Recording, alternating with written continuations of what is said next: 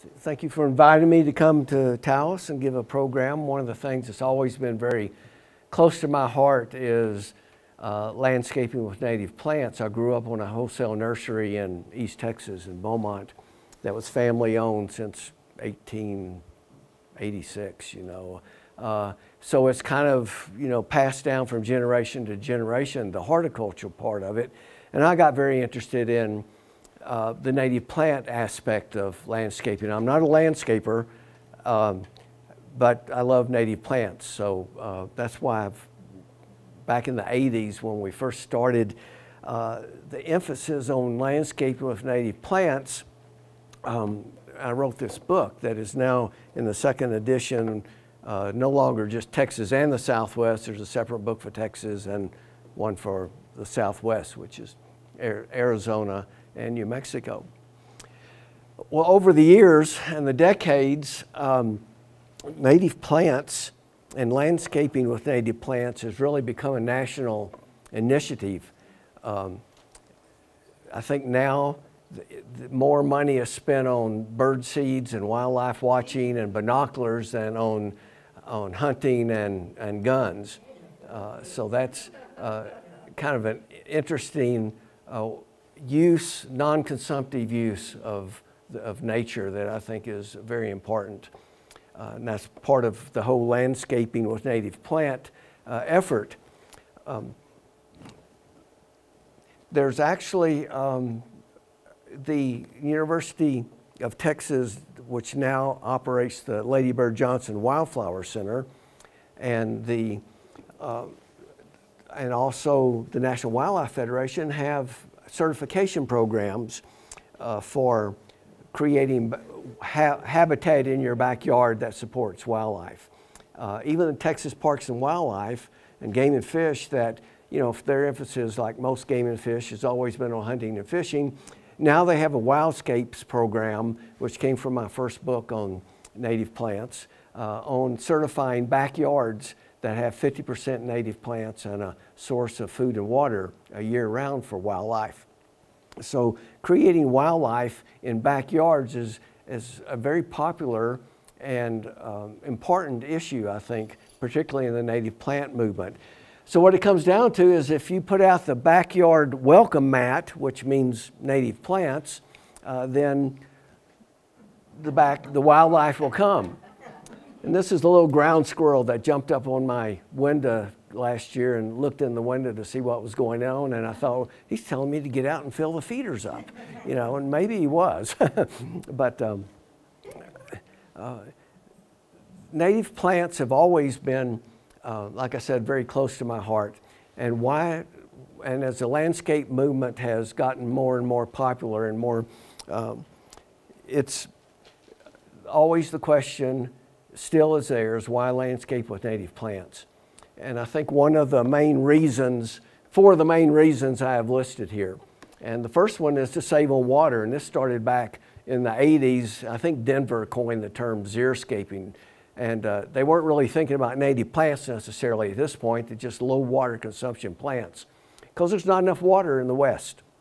Um, for, there's agriculture and industry and urban use, municipal use. And for agriculture, 80% of the water that's used in the West is used for agriculture. It takes 2,900 gallons of water to make a quarter pound beef patty and uh, 250 gallons of water to produce a quart of milk. And here's where it really hurts 66 gallons of water to make a glass of wine. But um, so I know all, all of you are becoming teetotalers now and vegetarians, you know. But, but that, that really speaks to our culture and our lifestyle of, of our water consumption. Uh, then as people started talking about native plants more, it was like, well, you can save, not only save water, you can have less maintenance because the native plants have evolved together with the climate, with the soil. Uh, they can stand, withstand the, you know, the blazing summers and the freezing winters and the droughts uh, and still survive so you don't have to spend as much money uh, either as homeowners or as you know commercial landscapes in replacing plants and maintaining plants. then there's the idea of creating a sense of place. And Lady Bird Johnson is famous for saying that she wants Texas to look like Texas and New York to look like New York and California to look like California. Uh, we have a strong sense of place in the Southwest and in New Mexico. But you know, it takes more than just hanging a, turning off your sprinklers and planting a cactus or hanging a rooster on your patio uh, to really embrace the Southwest. And so that's one thing we can do with native plants is uh, show that, uh, make the beauty of the Southwest reflected in our landscapes. And as recently now, it's been more and more important, uh, the emphasis in the whole native plant uh, movement has been to repair the environment. And uh, as urban cities expand, um, more and more uh, habitat is destroyed. Um, see this little red house here? I live about a block away from that. This used to be pristine desert, and now it's Del Webb is building a thousand homes, uh, and it's butts up right up against the Petroglyph National Monument. Uh, so uh, in this area here, I've spent a lot of time just walking through here and hiking and looking at the plants. It was a half a block from my house. And there were probably 50 or 60 species of, of wildflowers, annuals and perennials, of shrubs and subshrubs, of grasses, and all of the you know, animals and pollinators uh, that lived in that community. And then in a matter of you know, weeks and months, all that has been scraped clean and it's been uh, replaced by you know, cement streets and, and turf lawns and gravel lawns. Uh, so there's really an exotic plant. So the, the habitat has been destroyed. So I feel like a real responsibility and a real emphasis in with native plants is to repair the environment so we can share the environment. Um,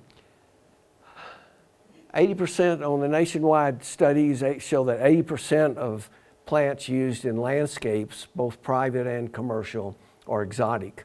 And that means they don't provide any, uh, really any sustainable substance for the wildlife, which is really a shame because just in Taos County alone, there's over a thousand plants, species, and varieties. And of that, probably several hundred at least would make really good landscape plants in the yard. They have flowers, uh, ornate bark, evergreen leaves, or leaves that turn colors in the fall.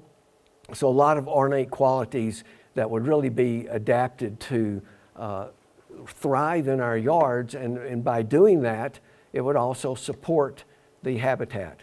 So really what we're talking about uh, when we are talking about landscaping now and landscaping with native plants is to create an oasis in your yard. Turn your yard into an oasis for wildlife. And it's really a, a new paradigm for landscaping. No longer are we just talking about you know, putting some gravel out or planting a specimen plant and a foundation hedge around the house. You know, these all look good and are the basic design strategies of landscape uh, designers.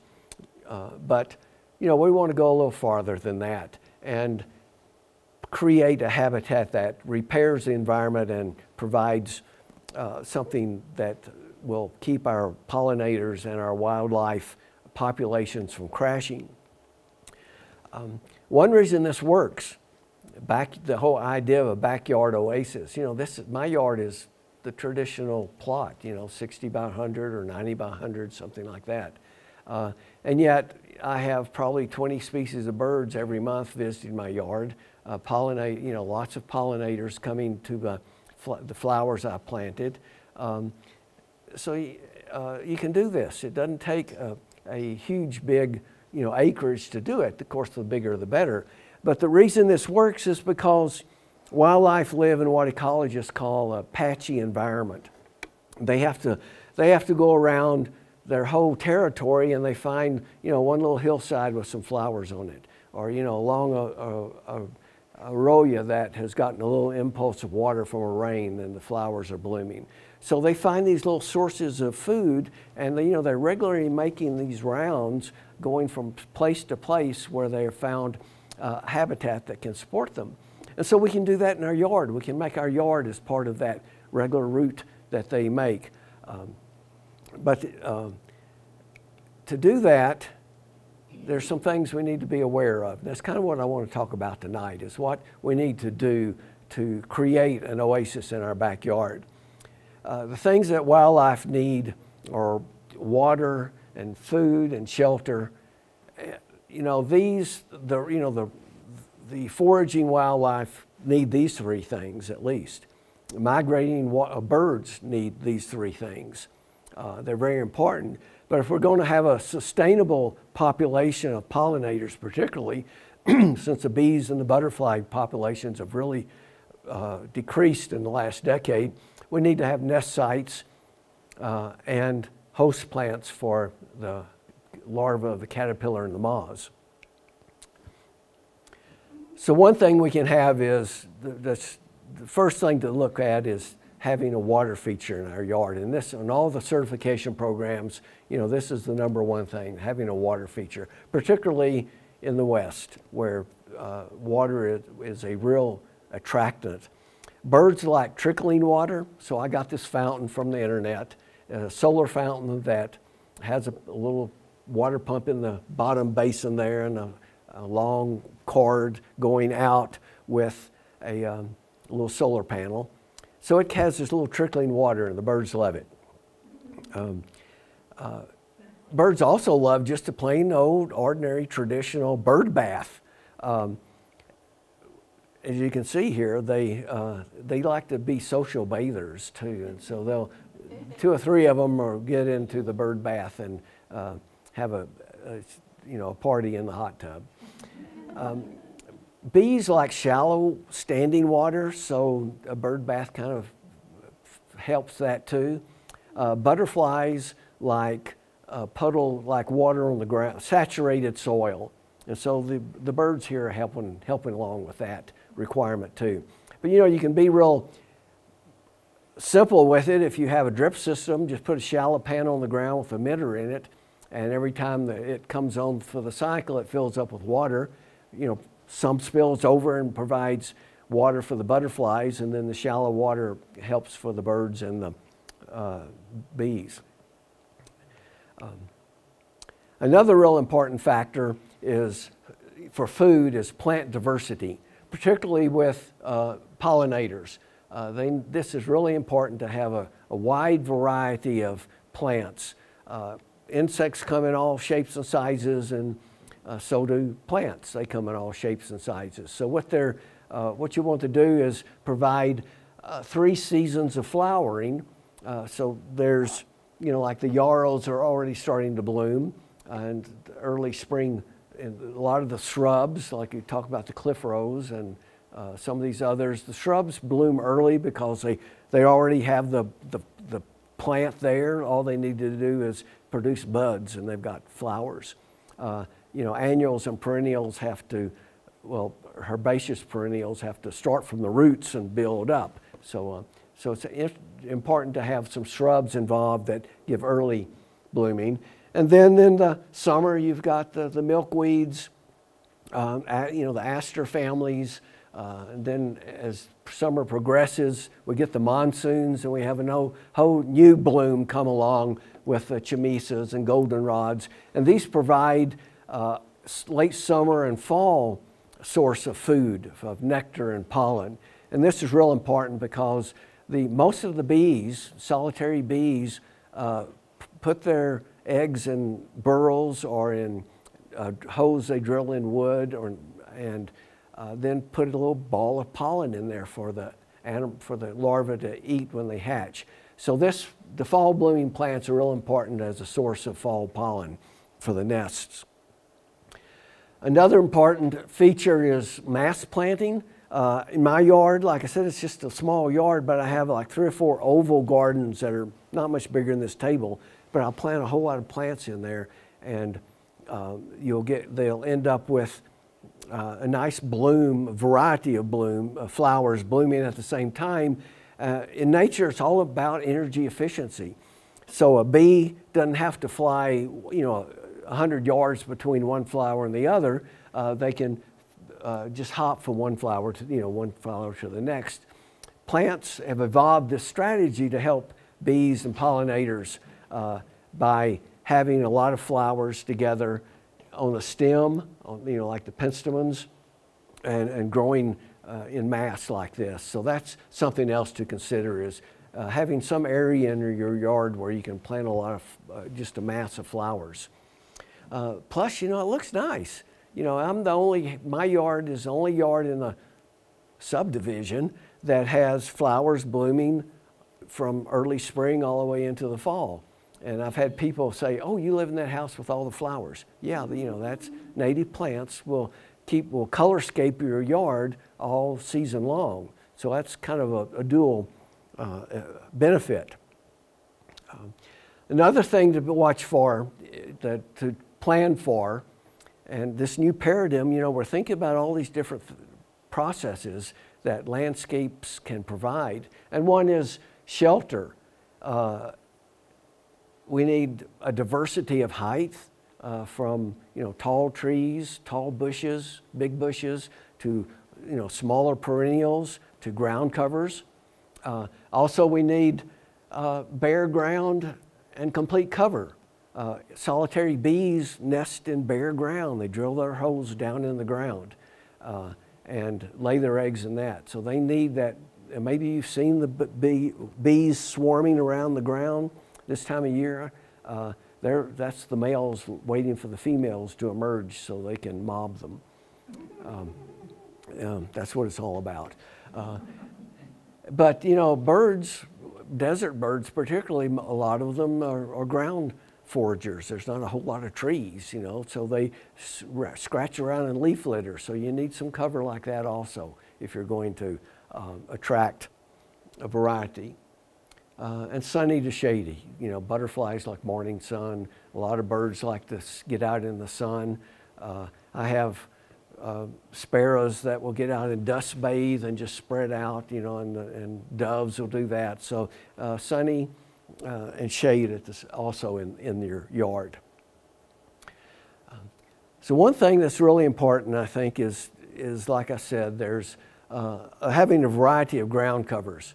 The around the outside wall of my yard, or on the inside of the wall, uh, I have a couple of feet that I just let leaf litter uh, uh, gather, and um, that gives the birds, the ground foraging birds, something to scratch for because it grows. You know, we started an ecosystem here. We've got insects and bugs and spiders and grubs and worms that are growing in this litter, and the robins. I've seen robins come out of nowhere pull up an earthworm. I said, Where, how did an earthworm get in my yard?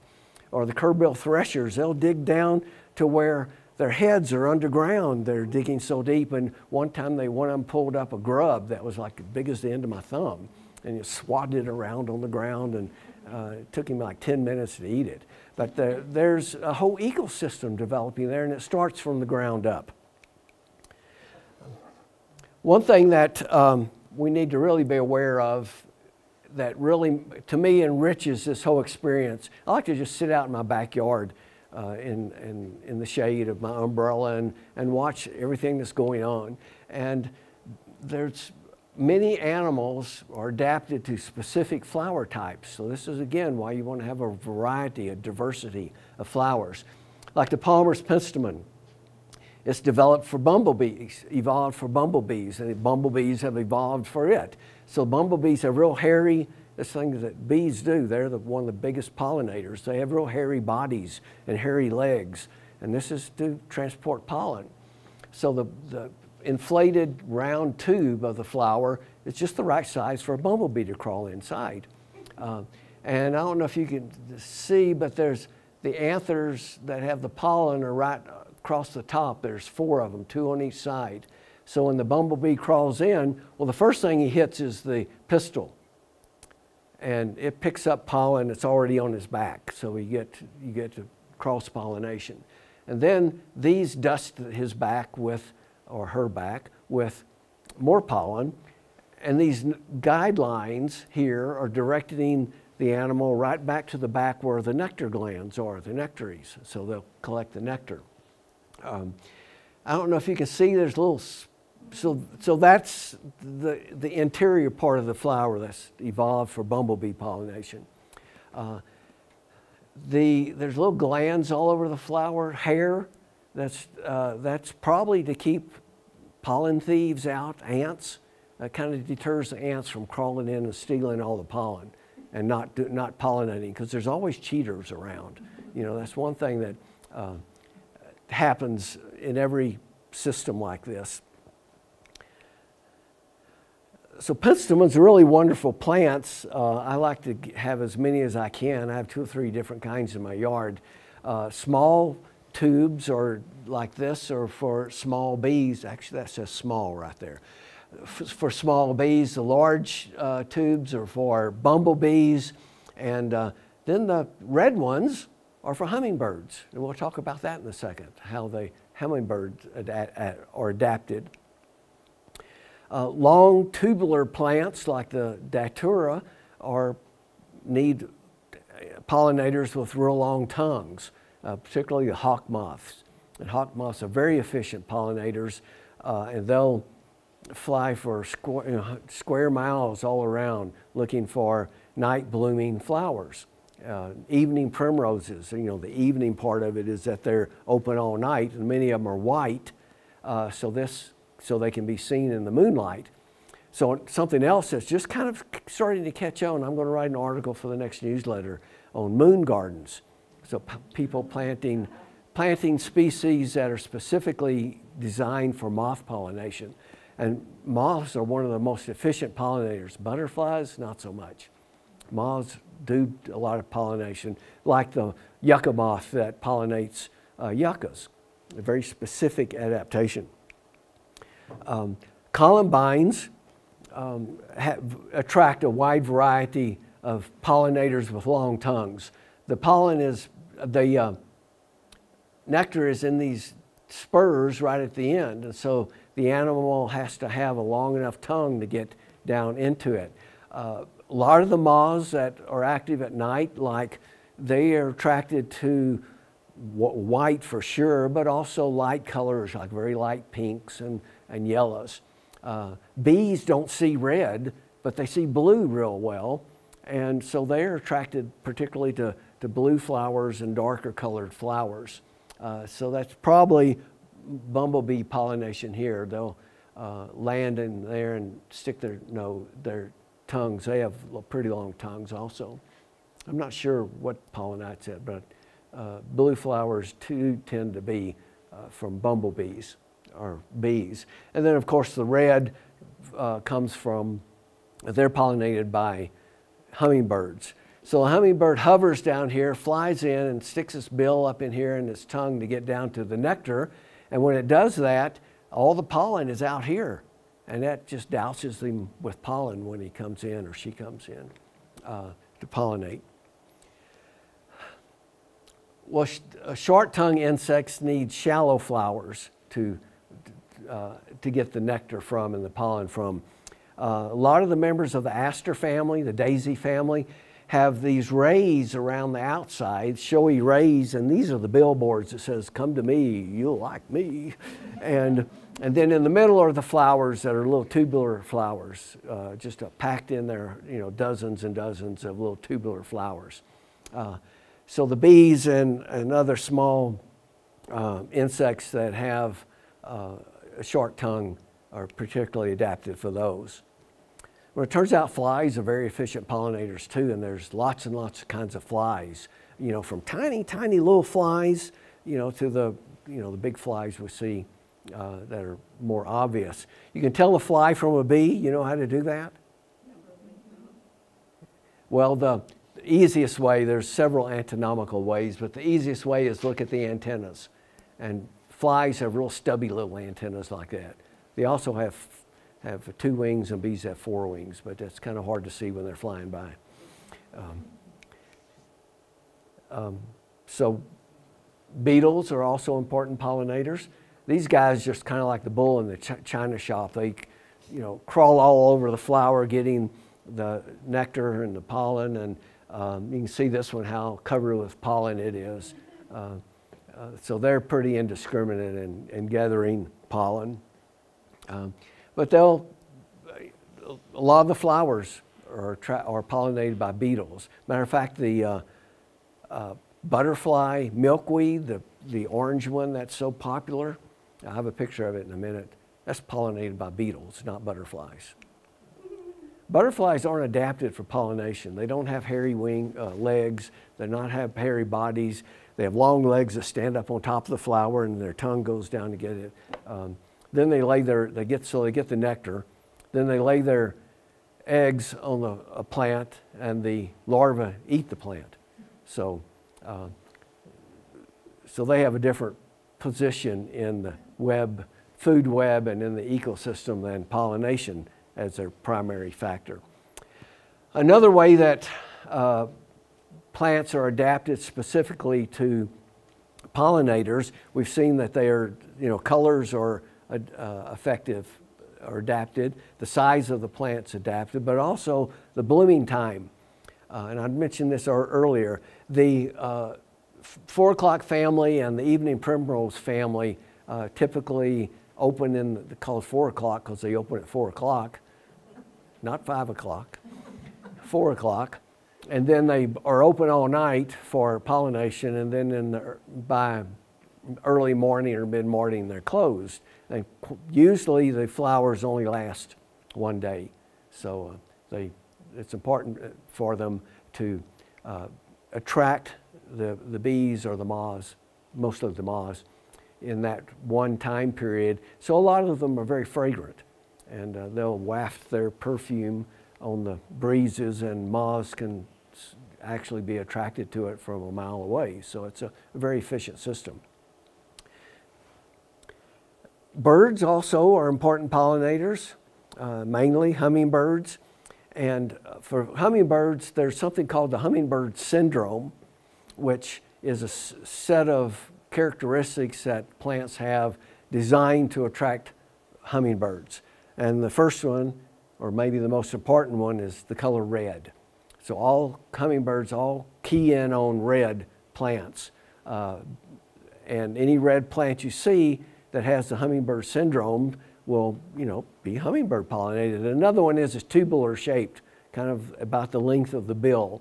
So the hummingbird can insert its bill in there and stick its tongue out. If you've seen them, they have long tongues. And uh, get it down to the nectarine and get the, get the nectar. And when they do that, um, they get pollen on them. And that goes from, from their bill to their heads, their throats, their shoulders. So that goes from one flower to the next. Um, so you can see when the hummingbird comes in and hovers, sticks his nose, his bill in there, uh, then it's going to, that's the pistil which receives the pollen and, and pollinates the ovaries.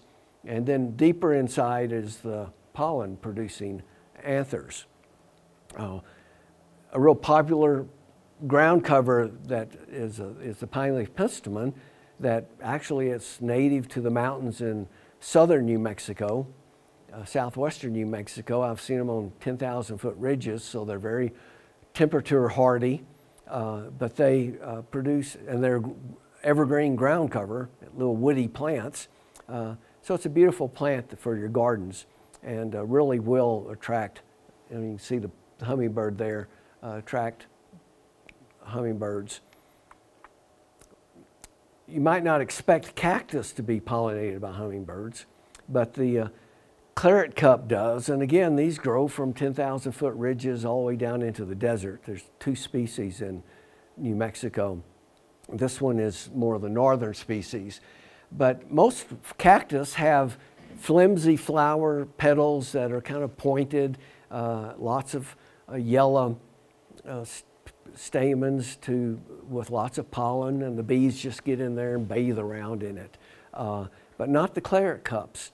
They have a waxy, uh, firm petal that's actually kind of rounded, and that's a hummingbird can it's firm enough for a hummingbird to perch on it. So it has a little perch there. Then when the hummingbird and red anthers, red pollen, when the hummingbird plunges its head down into bill down and to get to the nectar at the bottom, first thing it's going to hit is the stamen lobes I mean the uh, stigma lobes, and it's going to pollinate it, and then it'll go down and get pollen from that particular flower.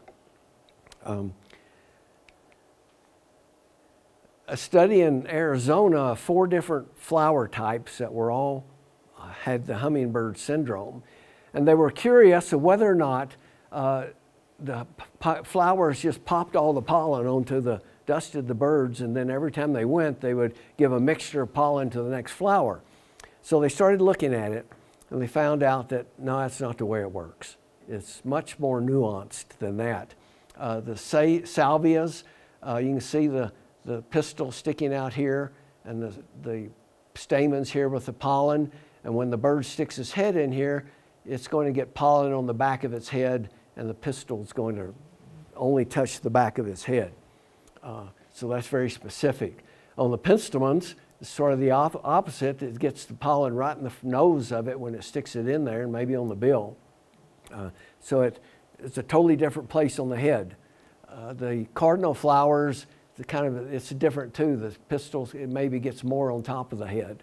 Uh, and then Monarda, I don't know if this is one of the flowers or not. I found that picture on the website, but you can see that it's uh, has a different placement of the pistils and the anthers so that the, when the bird goes into it, it's, contact is, of each of those elements is going to be on a different part of the body. I just love these kind of features like that when you find out what's really going on in your backyard. It's like, you know, the magic and the mystery's all right there. Uh, Discovery Channel in your backyard.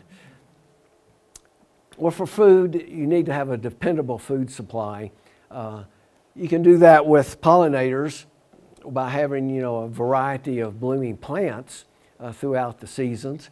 Uh, hummingbirds, it's not it's easy to put up a hummingbird feeder, and when some the, when the plants aren't in full bloom, uh, the hummingbirds will still have you on their stop as they come along. I can take my feeder down and uh, when I'm filling it up, and a hummingbird will come sit there and hover right where it is, just waiting for me to bring it back. You've probably seen that if you have feeders.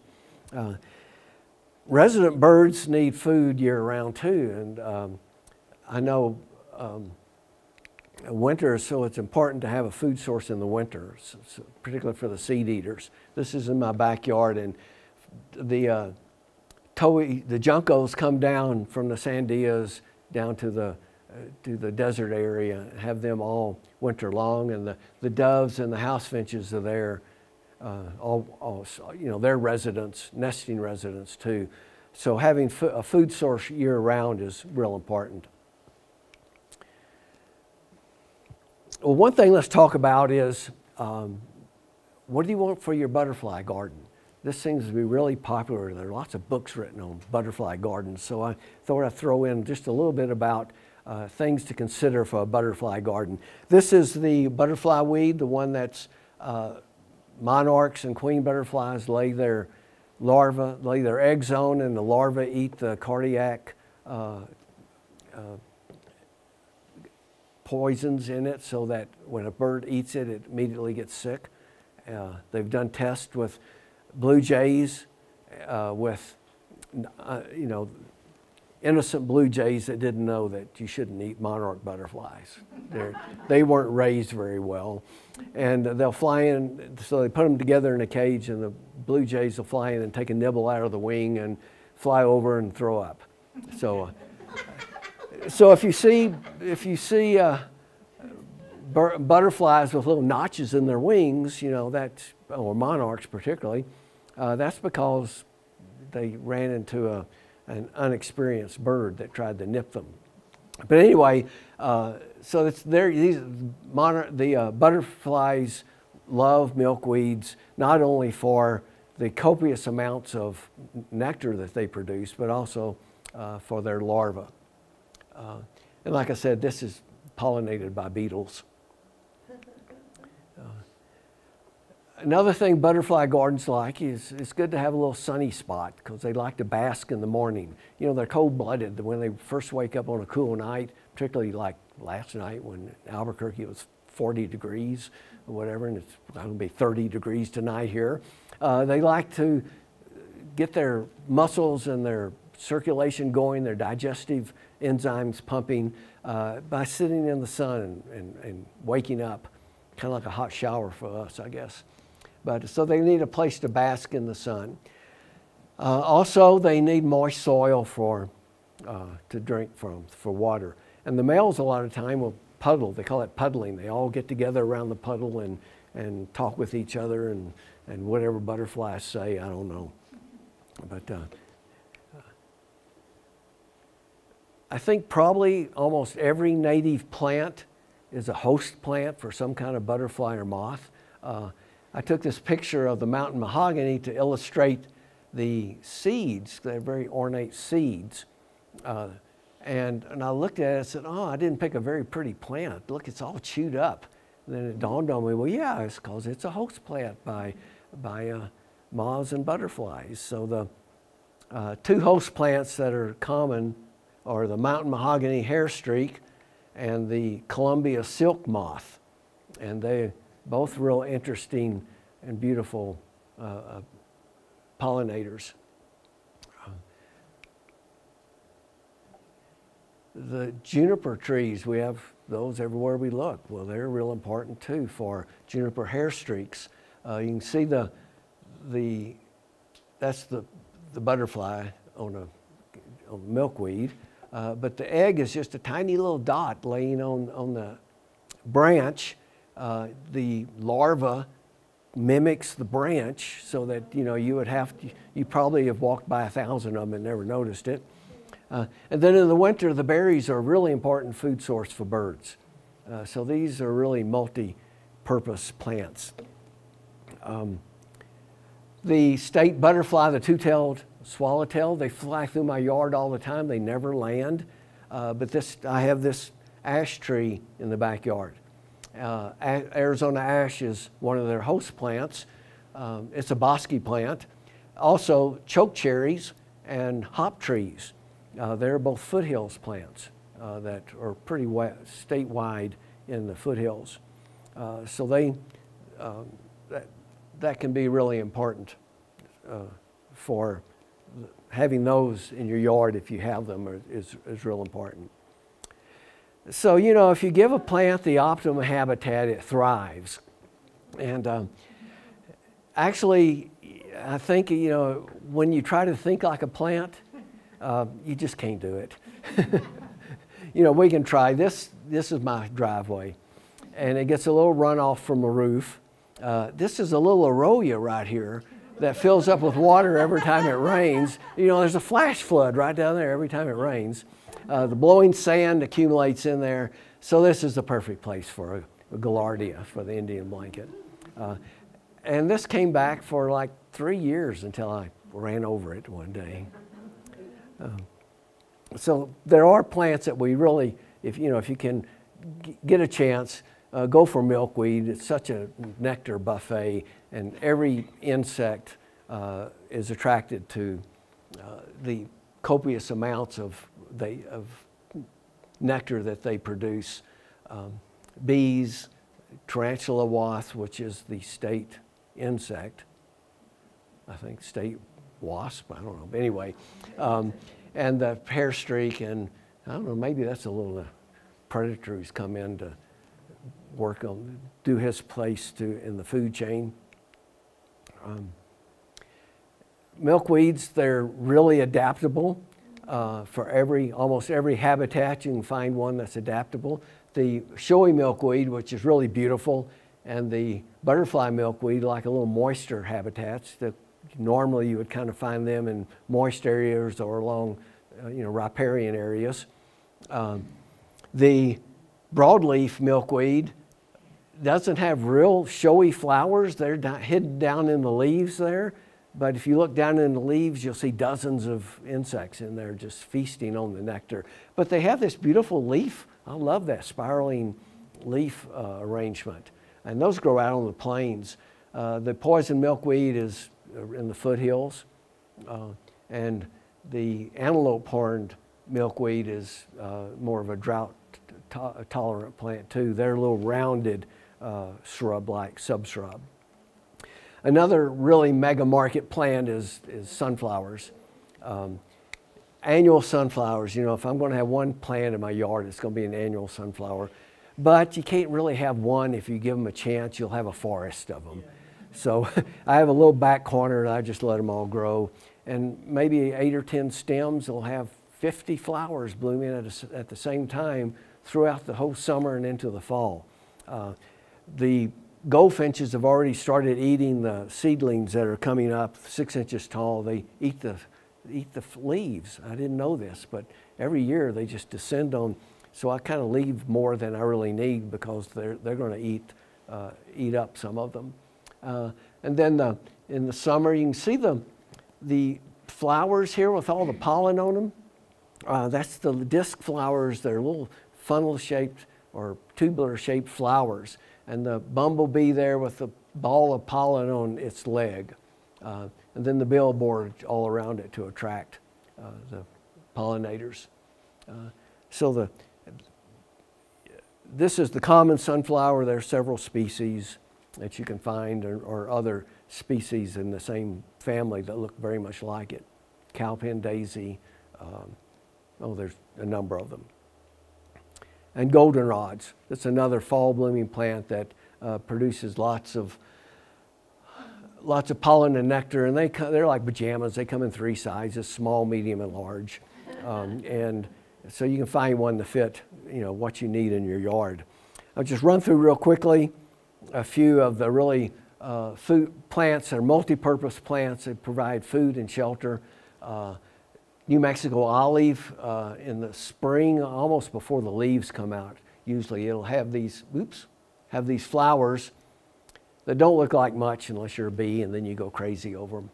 And then in the summer it has berries that the birds like. And it's thick enough to have uh, shelter for uh, birds that are flying in. Uh, you know, they like something beside their, if you have a feeder, a seed feeder hanging up or suet feeder, they like something close by where they can fly in and, and hide and then be sure nothing's around and go to the, go to the uh, feeder. Uh, another plant that I'd mentioned already as a, as a two-tailed swallowtail host plant is the chokecherry and it can be a small tree or a bush. Uh, same again, it blooms very early, provides an early source of, of nectar, and then has berries in the fall, summer and fall.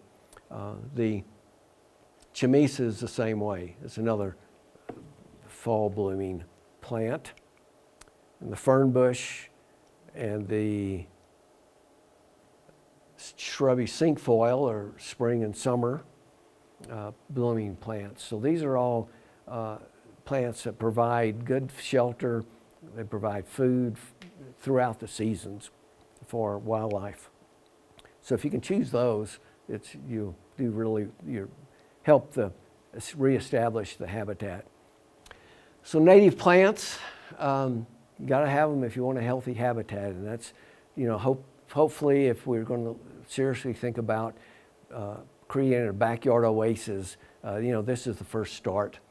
So if you have a healthy habitat, uh, then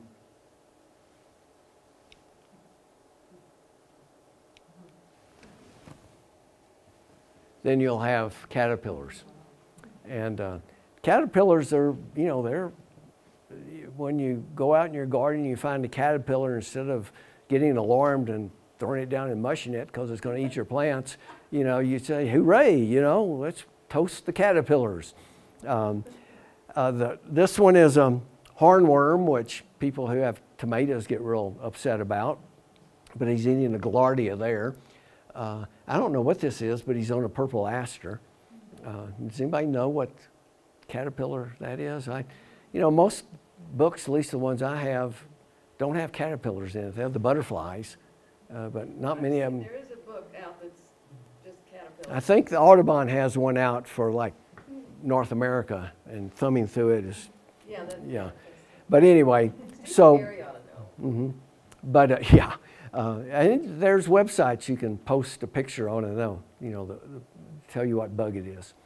Uh, but, you know, not only are you supporting the gen next generation of uh, butterflies, you're also supporting the caterpillars also support, I guess I died here. support the next generation of birds.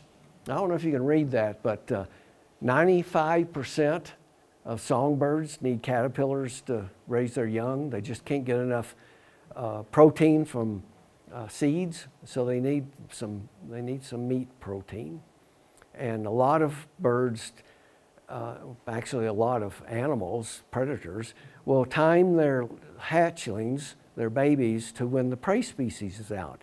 And for songbirds, this is caterpillars. Uh, there was a study that looked at um, chickadees in an urban setting, and they had to fly like four blocks to find a tree that had the caterpillars that were timed for their nestlings. It was a native tree, an oak tree.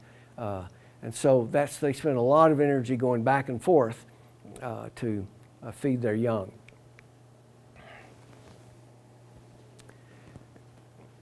So uh, humans have lived in this area for thousands of years, 10,000 years. Uh, you know, the Pueblo has been here for, that long, for a thousand years.